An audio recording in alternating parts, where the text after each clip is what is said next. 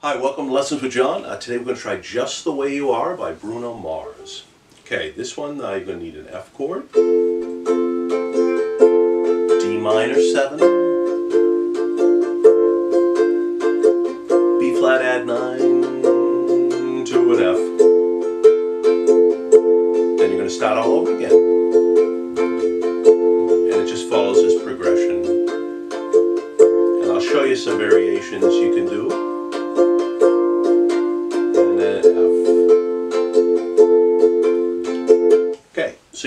Chord is the fourth string second fret, second string first fret. That's your F. The D minor 7, I just leave these two fingers down and I add the third string second fret. And I'm going to add the first string third fret. That's a D minor 7.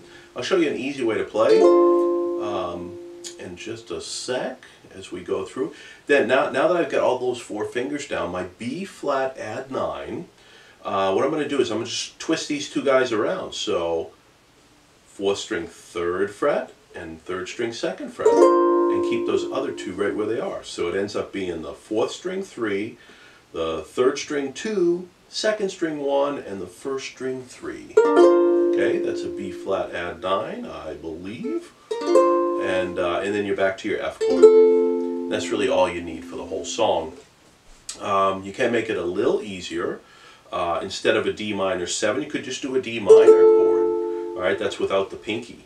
So everything else is the same. So it's a fourth and third string second fret, second string first fret, open first string. That's a D minor chord. You could do that. Um, and then you could twist around these two again, but you don't have to play the first string at all. That's a B flat major 7. You could do that chord too. that would work with the song. So that's a fourth string, third fret, third string second fret, second string first, and first string.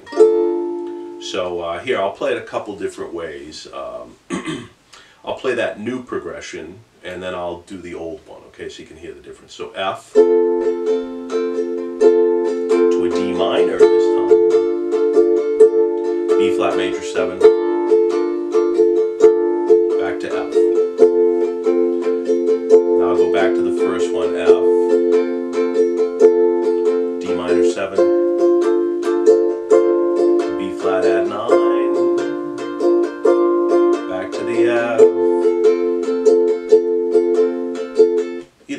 Either is fine for the song. Um, you know, the piano just does stuff that uh, the uke does the best they can.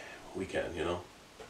All right, uh, the, the, it follows that pattern the whole time. You just have to remember that F's at the beginning and F's at the end, uh, and you'll be all set.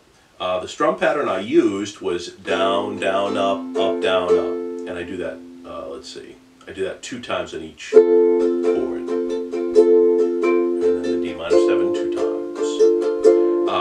Wanted to vary it, you could do something like uh, down, down, up, down, up, down, up, down, down, up, down, up, down, up, down, down, up, down, up, down, up, down, down. You could do that too.